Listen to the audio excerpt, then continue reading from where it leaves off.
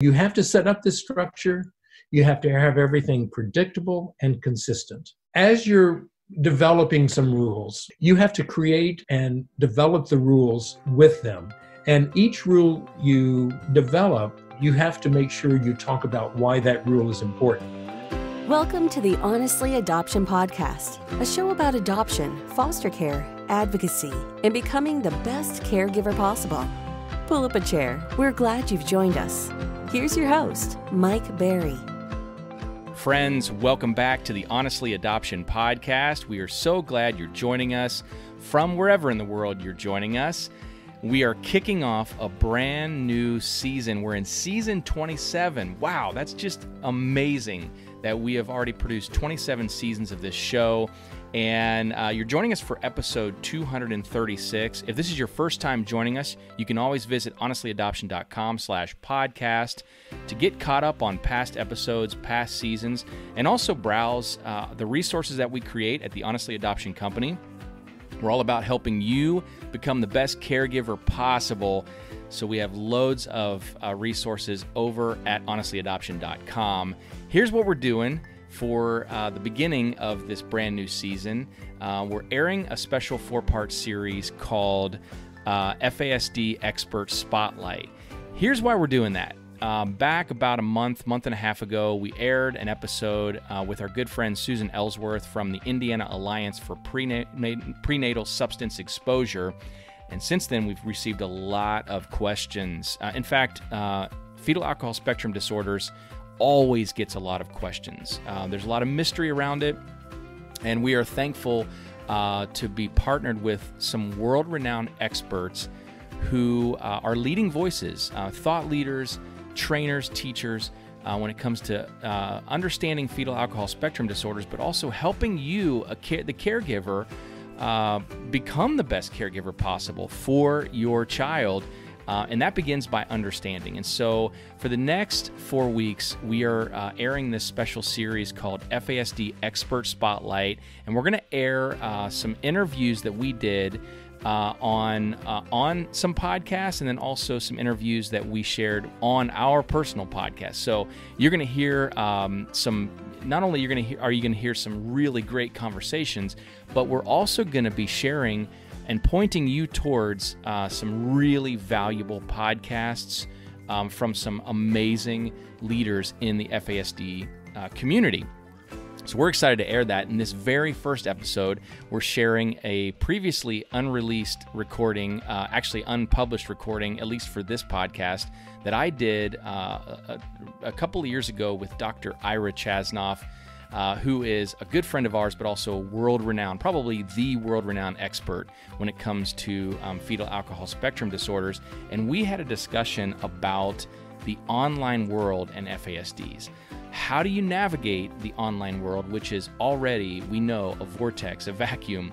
Um, how do you navigate that with uh, uh, children, with people who um, who have a, a fetal an FASD and uh, I mean, it's a, it was a great conversation. You will love this conversation I had with Dr. Chasnoff. He is a wealth of knowledge. Um, this interview was was just it, it, it to I couldn't write notes fast enough as a caregiver. Um, so you're gonna love it, and uh, it, it it really answers a lot of questions that we as caregivers are dealing with when it comes to this this current culture, this current uh, uh, world when it comes to uh, the internet and internet safety and all of that. Uh, we also talked a little bit about his book, um, FASDs and the Online World. And uh, we'll link all of that in the show notes. Uh, you don't have to worry about keeping up with me. Um, you can click the show notes and the links will be there. But listen, we are glad you're joining us. Um, and if you are brand new to the show, again, like I said, welcome to you. Make sure you jump over to our podcast website, honestlyadoption.com slash podcast, and get caught up on our resources, past episodes, all of that. And hey, listen, jump over to Apple Podcasts, jump over to Stitcher, Spotify, Google uh, Podcasts. All over, we're all over the place. Leave us a review. Uh, tell us what you think of the show. Uh, we would love that. That helps. Uh, that just pushes those algorithms into the stratosphere and gets this show out to more people. Guys, thanks for being here. And now on with my interview with Dr. Ira Chasnoff. Excited to welcome back uh, a very dear friend of mine uh, that we have done a lot of uh, interviews together over the years, Dr. Ira Chasnoff from NTI Upstream. Uh, and today, we're in this particular interview, we're going to be talking about uh, a very interesting topic, and that is fetal alcohol spectrum disorders and the online world, which is also the title of his latest book, FASD in the Online World. So, Ira, welcome back. Thanks. It's always uh, it's always fun talking with you. Yeah, and actually, this is a topic that I've been excited to talk to you about uh, really since I heard about uh, your latest book, FASD in the Online World. Uh, and so, I really want to start right out of the gate. Uh, you know, on on these interviews in particular, we've talked about FASDs with you. I've had that conversation with you and helping parents uh, formulate strategies to to better parent their children and then I've also had experts talk about internet safety and the online world. But now we're blending these two topics together. So, um, why why are these two topics, FASD and the online world, in tandem? Why are they so important? Well, uh, because both, you know, the common denominator between FASD and the internet, especially social media, uh, the common denominator is the brain. Uh, and uh, much many of members of your audience have heard me talk about the effects of alcohol on the developing fetal brain uh, and then we're going to as we talk today we're going to pair that against the brain basis of uh, social media and how it was designed uh, and that's that's the common thread it all comes down to the brain Yes, and and we were talking offline. I really want you to get into this. Um, we were talking. You you, you talked about um, you, you, know the um, brain functionality, the uh, what I would call the pleasure center. Um, that's not the official term for it, but um, we were talking about that, and you talk you you were mentioning how the developers of social media, uh, how they have uh, become successful or or the online space in particular has become so successful. So let's get into that a little bit um, because i think what you said was really intriguing to me and i was feverishly scratching out notes here um, but i'll just let you explain i'm going to step out of the way and let you explain that sure. because i think that's a really fascinating thing for parents to hear. Okay when it comes to the brain for all of us but especially for teenagers just adolescents in general the two key brain functions that propel online use are pleasure and relationships. Now, pleasure, uh, the, the, the part of the brain responsible for making us feel good about things, to feel pleasure, is called the prefrontal cortex. And it's way up in the front part of the brain, and it releases, uh, uh, it releases dopamine. Dopamine is the pleasure center of the brain. And so anything you can do that releases dopamine gives you pleasure. Uh, on the other hand, uh, the other aspect of brain functioning that's important uh, for all of us, but especially for adolescents, is relationships. You know, we as humans are always looking for connections. And uh, one of the main hormones produced by the brain, and this is produced by the midsection of the brain uh, called the hypothalamus, uh, but the hypothalamus produces oxytocin. And oxytocin is the cuddle hormone. Uh, it's what makes you want to connect to people. And when you do connect to people, more oxytocin flows. So, how are those affected, those two centers of the brain, affected by prenatal alcohol exposure? That's the first question. So, the difficulty when alcohol is used by the pregnant woman, especially early in pregnancy, often before she even knows she's pregnant, um, it, it, its main target is the uh, limbic system, the midsection of the brain. And the limbic system is kind of at the core, and that it transmits information that we receive from the environment. It transmits information up to the prefrontal cortex, as well as the limbic system uh, contains organs on its own.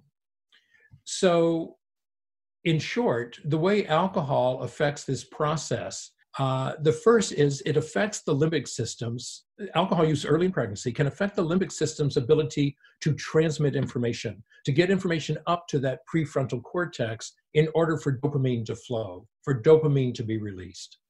So it uh, disrupts, it, it takes more stimulation to get that pleasure center fired off. The second thing is it affects the limbic system directly, especially what we're talking about today, the hypothalamus. So it can affect the release of oxytocin. Now, what does that come down to? In order to, to get dopamine released, the adolescent with FASD is looking for significant um, information from the environment uh, so that that information can be fed up to the prefrontal cortex. And in addition, is looking the adolescent is looking for relationships. Mm-hmm. Now, the adolescent. I'm sorry, I'm stumbling here. That's okay. Um, so now we have to talk about well, how does how does alcohol exposure affect relationships? And I think this comes down to the issue of communication. So think about communication now. What is communication? Um, there are three components to expressing ourselves verbally. One is speech, and speech is the actual sound that we make. It's it's the words, the spoken language we use. Uh, the next step is language itself, which is a whole system of, of verbal information and symbols. And so it's written, uh, but uh, language also includes reading uh, body cues, facial cues, body language. So that's part of language, is not only being able to produce sounds in a coherent way, but also to read information that's coming back in response to those sounds you're making. Communication then is the process of transferring all of this information so that the individual can use it and respond appropriately. Mm. So there's speech, there's language, and then there's putting it all together. And that's where teens with FASD really have difficulty. Uh, this is called adaptive functioning the ability to take what you know and utilize it in uh, the fulfillment of daily tasks. So, communication is, uh, for example, uh, knowing when you're talking to someone what distance to keep so that uh, you don't walk up to somebody and invade their space. Mm-hmm. Communication is all about understanding sarcasm and uh, being able to understand uh, uh, symbolism. So, one of the examples I always use uh, is a young lady that we were working with uh, when we were making our film Moment to Moment about uh, young adults with FASDs. Uh, our film crew was out uh, filming in her home one morning and before school, and then the film crew started packing up, and they said, "Okay, we'll be back at two o'clock to film some more." And this young lady who's 22 years old, has an IQ of 125, said two o'clock in the morning or two o'clock in the afternoon. Now, one would think, oh, she's a teenager, you know, she's she's being sarcastic, she's just, but it's this is actually a very real question for her, because what parents often talk about common sense, mm-hmm. teens with FASD lack common sense. And that's all part of communication, taking speech, language, combining it for a communication system. Now, think about the teen with FASD who's having trouble in their peer relationships. For example, the young lady I'm talking about, her friends say, uh, "Let's to get together at four o'clock, uh, and uh, we'll we'll have a, a study a study break together." And this young lady says, four o'clock in the morning or four o'clock in the afternoon. Now, her peers might laugh that first time and say, Oh, you're such a card, of course. You know, we're going to meet at four o'clock in the afternoon. They'll brush it off. But the next time, she now becomes weird. And that's yeah. these issues in communication are one of the difficulties the teens have in keeping social relationships. So think about the teen now with FASD. Uh, online, they don't have to worry about understanding sarcasm. They don't have to understand uh, social distance. They don't have to read facial expression. They don't have to read body language. It's all right there in black and white, right on the screen. Yeah. Now, that's the advantage, and that's why they feel so much more comfortable. It has a flip side, though. There, you know, teens will express sarcasm. They will on online. Uh, they will make uh, outlandish jokes online. But the teen with FASD is going to take that information literally. They don't know how to walk that gray back and forth. Everything is black and white. Mm-hmm and that's why they are so susceptible to uh, being victims online. It's also why they're so susceptible to being perpetrators online because mm. they don't quite understand the meaning of their words. So communication is all one area. Yeah. Did you want to ask a question now? Because I was well, going to go to something. Yeah, yeah. Um, hold that thought because the big question I have, um, we're talking as as you mentioned a little while ago, um, those interpersonal relationships, and I think this pretty, pretty much goes along with the communication and the interpersonal relationships. Uh, I'm thinking about uh, several of our clients who have come to us over the last several months and said, "I, my child just does wildly inappropriate things in relationships." Um, has uh, one person in particular uh, talked about their teenage son who uh, could basically could not handle himself out in the neighborhood um, could not handle himself over using a cell phone or over social media it was hmm. almost like there was a it was a it was it was a social disconnect so the, my question is how do you okay how do we as parents because I because I when I'm parenting a child like this too, how do we as parents, um, how do I don't even know how to ask this question. It's such a big question. Like, how do we help our children who have FAS who have an FASD? How do we help them make those appropriate social connections, or help explain to them when there is a social disconnect that they're not understanding? That's a huge question. I know. Uh, that might be a whole different discussion. Uh, but let me let me try to just answer that relatively briefly. Uh, you, as a parent of a child with FASD, you are going to spend your life being their external brain. And it may be they're never going to be able to get out socially independently. Now, the, that's the bad news. The good news is, is that the prefrontal cortex that helps govern a lot of this uh, does reach full maturity by about well the late 20s so between 26 and 30 years of age so we do see a change in a lot of the children with fasd around ages 26 to 30 years because the prefrontal cortex is coming into play now so the prefrontal cortex, the dopamine, actually has two roles. And I didn't mention this earlier because I didn't want to get this too confusing, but I you have forced me to now, so I will do it. The other role of the prefrontal cortex is regulation. It's the regulatory center of the brain. So that's connecting consequences with behavior. That's decision making. And we were going to get into this in just a moment, but um, so I'll just give you a, an easy example. Many of our kids with FASD get treated for uh, ADHD. Mm-hmm. And uh, they, in fact, do have ADHD. You, you know, didn't you see the car coming? And they saw the car coming. I just didn't think it would get there the same time I would. So I went for it. Now, what they're telling you is that they saw the car but in order to get that image up to the prefrontal cortex, that information has to pass through the limbic system. Yeah. And if there is damage to the limbic system, that information isn't getting up there.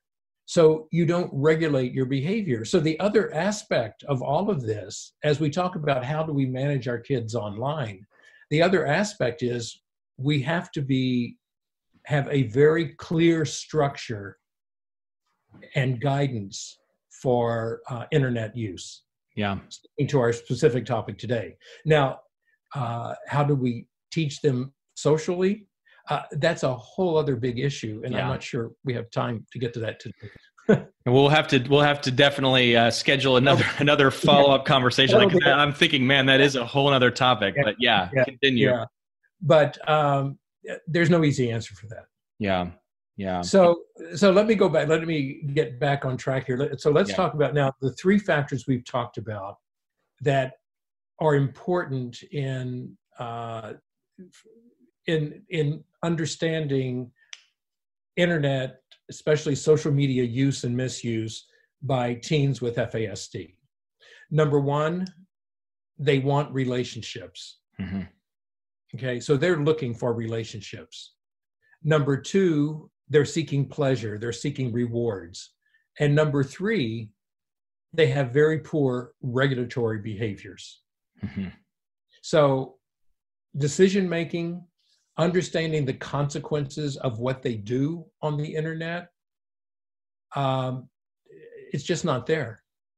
Uh, and even if you try to lecture them and teach them and say, if you say, come over to my house to a stranger and give them your address, if you tell them don't do that because a stranger is going to show up at our house and may harm us, connecting the action with the consequence doesn't necessarily work.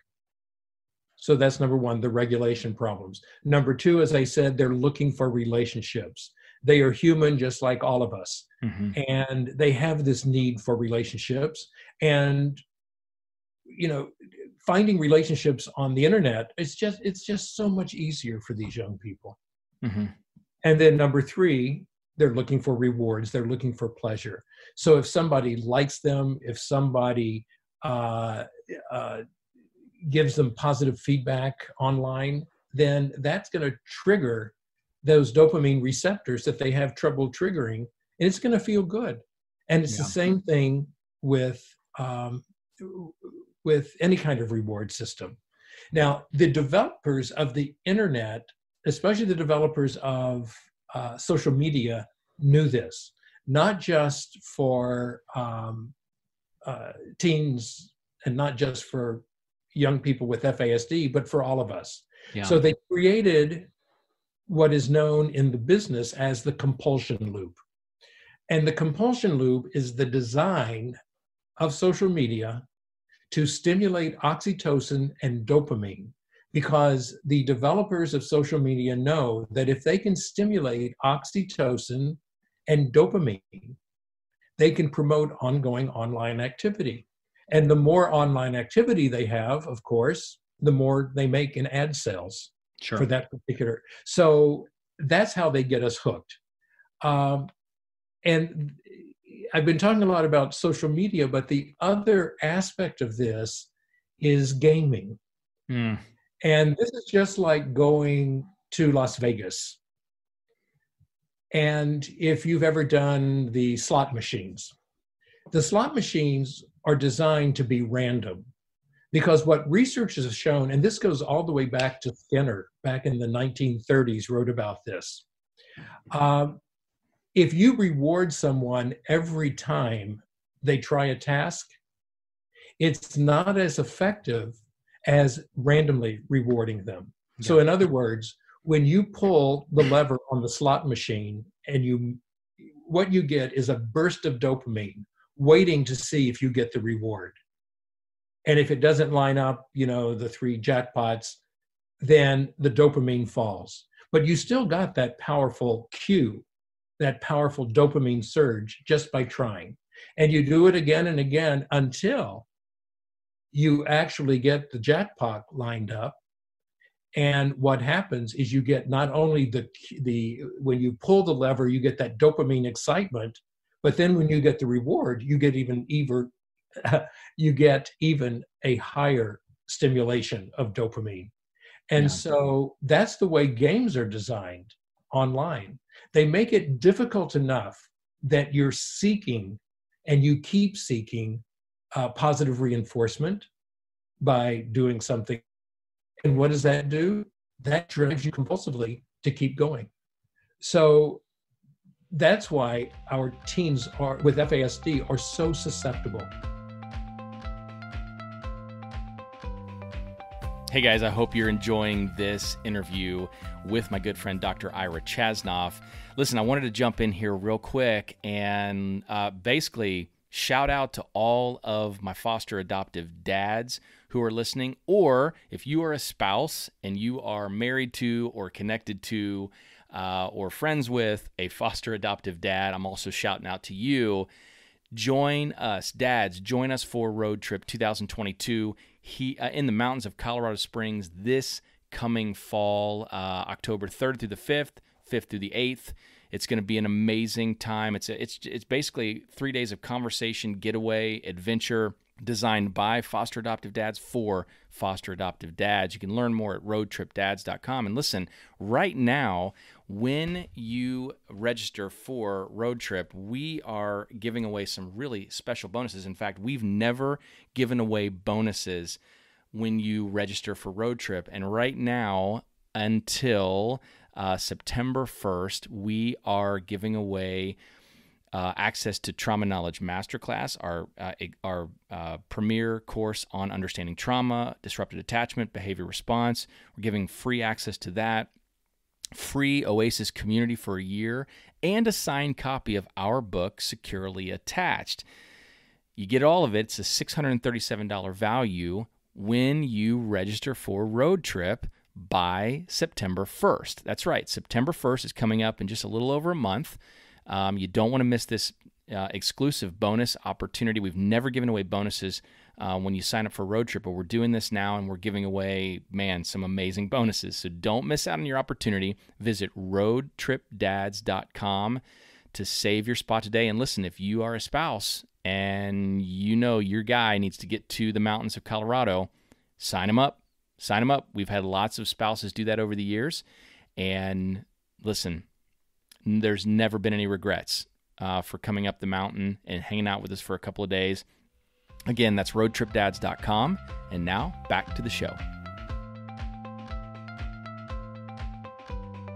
Tell me if how this lines up, but I'm thinking about the child who um, continues to pursue those relationships that are toxic. So we're, we're bringing it back into the physical real world so the child with an FASD who who pursues the the relationships that are toxic, um, and I, and I and I'm using that actually a real life example. Just as you talk about like how game systems and how the online world is they've designed it to not always reward, you know. And there's a lot of different examples I could use there, but I'm thinking about it this in more of like the physical real life world that our kids live in with the relationships that they yeah. they pursue that may you know it's the it's the kid in the neighborhood who may like throw him a bone and hang out with him for a while but then the next five or six days totally reject them and all the while parents are standing by saying they that person doesn't want to be friends with you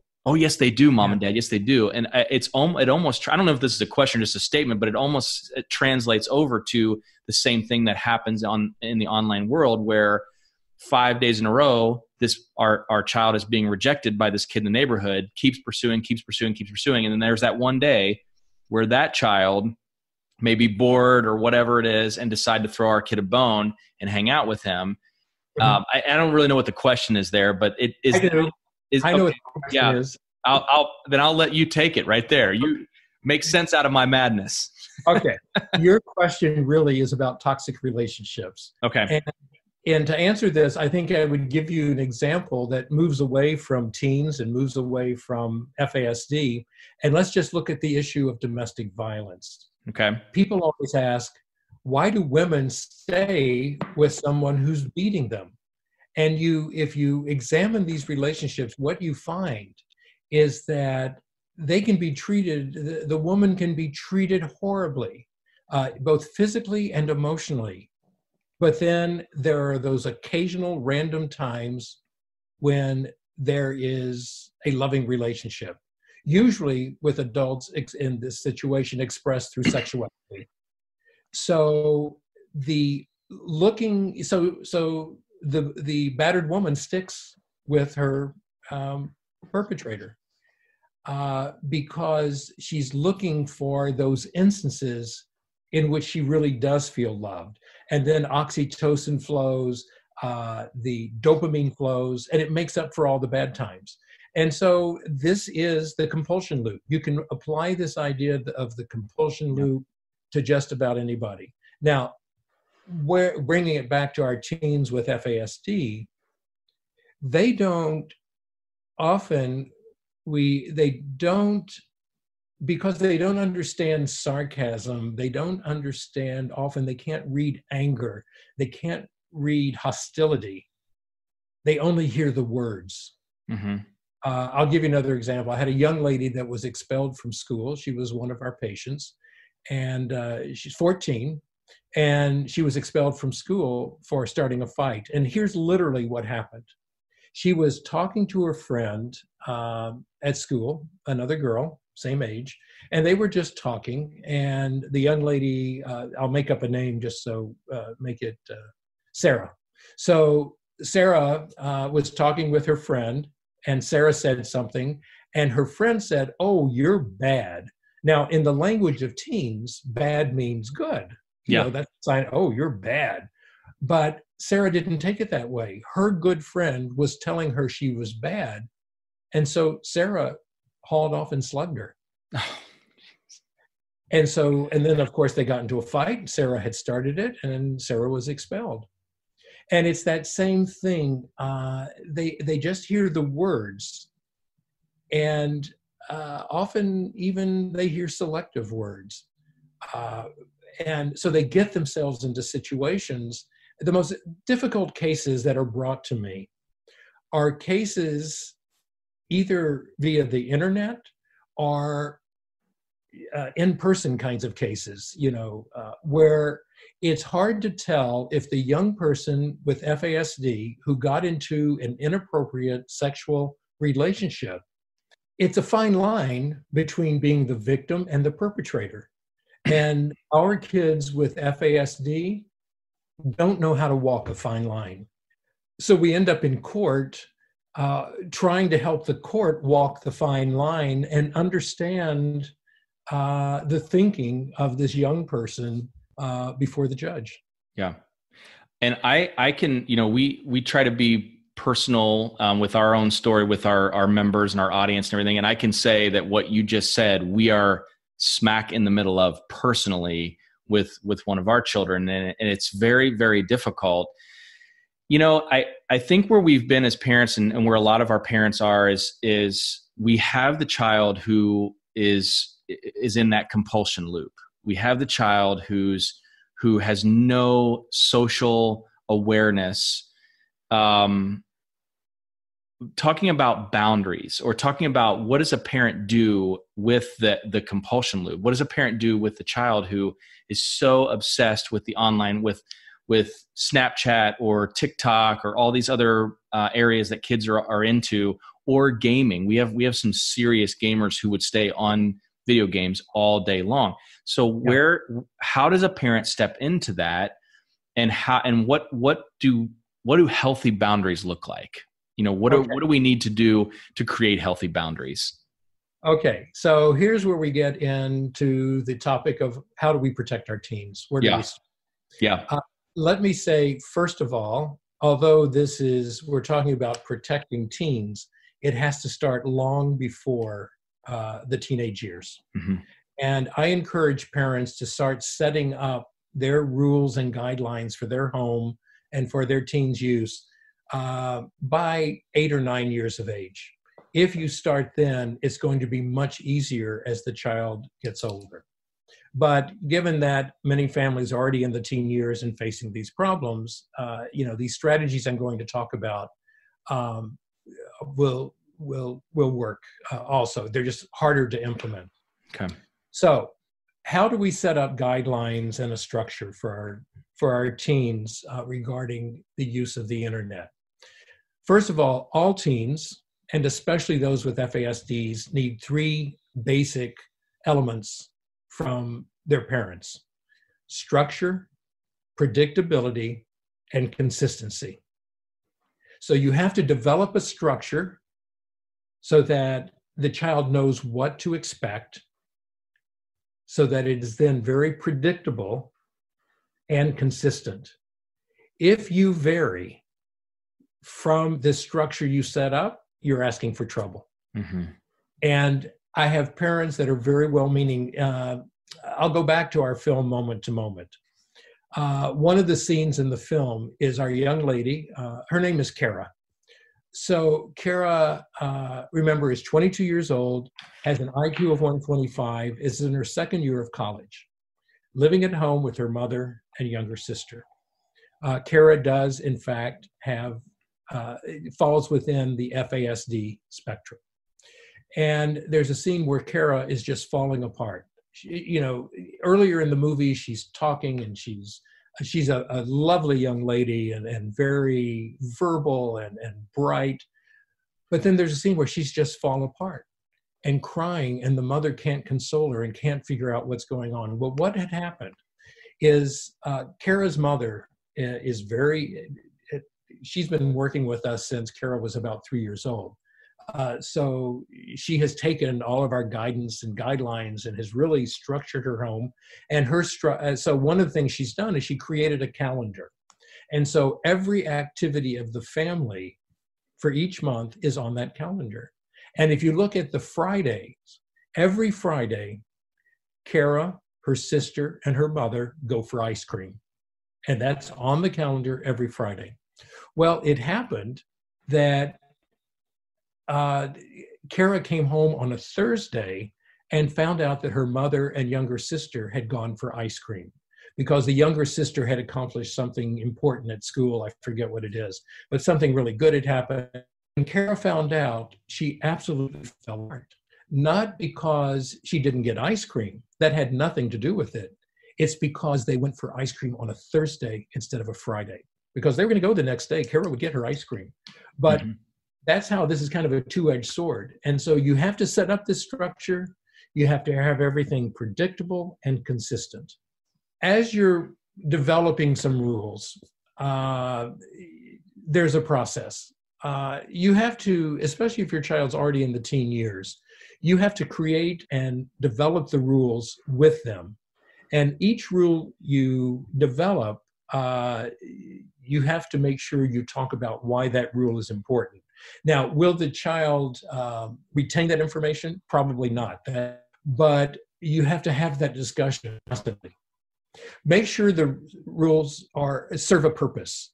Uh, you don't want any more than, at the very most, six rules, and they have to be stated very clearly and specifically and concretely. Um, you can't say, for example, no internet use before dinner that doesn't mean anything to a child uh, with FASDs. You have to say, here are the hours that you may use the mm-hmm. internet. Okay. Um, the rules should be stated in positive terms. Uh, don't say, uh, do not, uh, I'm trying to think of something, uh, do not use the internet after seven o'clock. Mm-hmm. Rather, you have to say you may use the internet between five and seven o'clock. Mm-hmm. So see how that's stated in positive yeah. terms. Um, the rules have to be relatable to what goes on, very real about what happens in your family. So, for instance, using this time example again, if you have dinner every night at six o'clock, then you have to decide where internet use figures in and you have to keep going over the rules on a regular basis. Um, and it's not a bad idea when you're starting out uh, that uh, if you say, for example, uh, internet use uh, is between 4.30 uh, and uh, 6 and then 7 and 8 every time the child goes to use the internet you need to reinforce the rule right oh susan i'm really glad and it has to be positive. Mm-hmm. positive reinforcement's the only thing that works. Susan i'm really glad i see that you're using the internet between 4.30 and 6 so uh, and you have to just keep going on and on. Now, this next one uh, is really important, and parents uh, start laughing when I talk about this. And as I wrote the book, I imagined the parent kind of putting the book down and saying, "Yikes," uh, because before you can uh, develop rules for your teen, you need to audit your own use of technology. You need to think about it. Uh, and so, you know, are you using your, let's just take your cell phone. Uh, and uh, I'm going to ask you if I, here's a few questions, Mike. You can answer these or not, uh, and I'm hoping our parents at home that are listening to this can answer. So here's some questions for you. Mm-hmm. Do you feel a mild state of panic if you've lost your phone? Yes, I do. Okay. uh, in a national study, 73% of adults say yes. Yeah. Okay. Uh, here's another question Do you spend an average of two to four hours a day tapping, typing, swiping on your device?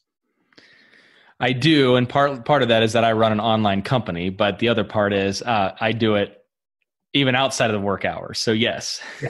okay. See those two to four hours. Yeah. You're you're touching your phone 2,600 times. Wow. Um, here's another one. Do you do you ever feel your phone vibrating in your pocket even when it's not there? All the time. All the time. Yeah. Amazing, isn't it? It really and is. This is, you know, the great majority of adults say yes. Yeah. And eh, do you wish you spent less time on your phone, but find it it's just really difficult to disconnect? I absolutely do. You know, I, I, have these delusions of grandeur. Like when Christmas break gets here, I'm going to turn all technology off. It's not going to mm-hmm. happen. it's just not going to happen. Well, it's uh, that's why you've got to you've got to set some rules for yourself. Yeah, and all parents need to do this. Um, and it's not easy. Now, the question I just asked you are when we talk about internet addiction. Now, you know, there's not a clear definition of internet addiction just yet, but these questions, the studies that develop these questions, these are the kind of questions we're asking people to try to start understanding uh, addiction to cell phones. Mm-hmm. Uh, the great majority of adults answer yes to all of these questions. Yeah. And we are what's known as technology naive. And, um, but still, we are addicted to our phones. So the question comes up now okay, how do we, uh, how do we develop a plan for management of online access for our teams? The first thing we have to do is provide a structure. As and and the three elements you want to look at when you're providing structure for online use are place, time, and device. So think about where in your home will you allow access online. You do not want to set up a computer or a laptop in the child's bedroom yeah. where they can close the door. What are the times? We talked about time, how you fit it in and decide uh, and not only the time, the specific times, but how that time is to be used. So part of the time is set aside for homework, and part of the time is for games or pleasure, connection, social media, etc. And then the difficult thing for us to understand as um, as technology naive adults is device. Uh, there are so many devices out there now and we're going to have to develop this structure so that not only do we have the place and time, but what device may be used in that specific place and specific time. So those are the three things you have to think about for structure. Um, I kind of laugh. I, I've gone now. I of course didn't. Go, my my sons are all in their 40s, so uh, we didn't have this when they were growing up. Thank goodness but my grandchildren certainly um, i have two of my granddaughters are 18 years old and so when uh, they turned uh, 13 they got to get an email account And so, of course, Grandpa, I got an email account too, uh, because I could watch and see what was going on in their lives, and I, I had open access to their email accounts. And then after about a year or so, it ju- they just disappeared. And so I saw them. I said, I don't see you on email anymore. Uh, you don't use email anymore? And they just looked at me. They said, Email? Nobody uses email. And of course, it's Snapchat and Instagram and all these other things. TikTok, yeah. TikTok is the latest one. That's yeah. TikTok is one I really don't understand because it is, first of all, I can say this because it's all parents that watch this, but it is it is probably the most ridiculous thing I've ever seen it's just yeah. videos of themselves. But yeah, I, as you were saying that, I'm like, oh, I know where this is going. Yeah. Email email is outdated. Yeah. Yeah, and so then of course when I said, "Oh, great, I'll just join," oh, they said, "Oh, no, no, Grandpa, that you're not getting into our." and so, you know, uh, I leave it to their parents. Then, uh, yeah, I'll, I'll be quite honest. I would not want to be raising children right now. Uh, I think it was much easier in my day. Now I, I, know I sound like a boomer. I apologize. No, you know it, you don't. I, I am not. I'm, I agree with you completely. One of the things that we have have actually discovered uh, myself and Kristin as we are raising. We have two senior daughters uh, who are about to graduate high school, and as I look at teenagers that, and I've raised many teenagers now, uh, and versus little kids, younger kids, younger than like ten years old my goodness, it was so much easier to raise little kids than it was to raise teenagers because things change so fast. Yeah. I mean, we're we're exhausted trying to keep up with the technology and we have to because we have we're parents number 1, but number 2, we, you know, we're researchers and we're trainers, so we have to always be keeping up with trends and it is actually taking the life out of us at times. Yeah. Um, yeah. so yeah, you're right. I agree with you completely. This is an exhausting generation yeah. to uh, to raise teenagers. It really is. Yeah. Yeah. So um, so the next step after you've established the structure, you have to monitor. And when you monitor, it has to be all devices and all accounts. And in order to do that, you must know all the screen names and passwords for every one of your team's accounts. And as you monitor all these devices, if you find an account that you don't have access to, that's an immediate grounds for shutting down all accounts. You have to be very clear about this. Now, most parents tell me, I don't have time to keep checking on my teen. And so, uh, you know, how often do I have to do it? And, you know, how, how do I just do this practically? Well, um, if you tell your teen, I'm going to check your accounts, all of your accounts every Wednesday, I can assure you every Tuesday night, your teen will go online and erase all his histories. And so you're not going to be able to look uh, to see where your teen has been exploring online. So there's something we call the bogus pipeline. And this is really the best way to do it for busy parents. You tell your teen, I'm going to check your accounts, every one of your accounts, once a week. And it can be on any day of the week but I'm not going to tell you which day. So some weeks you check all the accounts on Monday, some weeks on Thursdays, but you vary it and you keep it random. And that's the best way to keep your teen honest. So the frequency frequency is once a week through a bogus pipeline approach. Secondly, the extent, let them know you're going you're going to uh, search everything. You're going to go into every account and if you find any accounts for which you do not have access, then everything's getting shut down.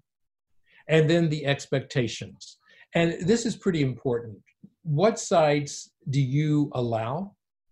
And what sites do you not allow? And of course, there's all sorts of software now that you can block a lot of sites. But yeah. let me tell you, teens, even teens with FASDs, know how to get around that software so true. So uh, you know, uh, you have to let them know you expect to see everything all the time. Yeah, yeah, I I am absolutely 100% agree with you. It, it I, I, in fact I said this um, recently to my son who has an FASD. He he referred to himself as stupid, and I said, "Oh, buddy, uh, you are not you are not stupid. Um, and I can, and I, I proceeded to tell him all the things, all the sneaky things he's done that takes a very, very sharp mind. so I completely yeah. agree with you on that. Yeah, yeah, that's really, really good advice. Really good advice. Yeah. Um, then uh, an- another point is you've got to communicate your expe- expectations to other parents. Now, yeah. uh, I was I share things about my family too. I was babysitting my grandchildren, uh, the four oldest ones, and the oldest girls uh, at the time, who are 18 now, at the time were just turning 13.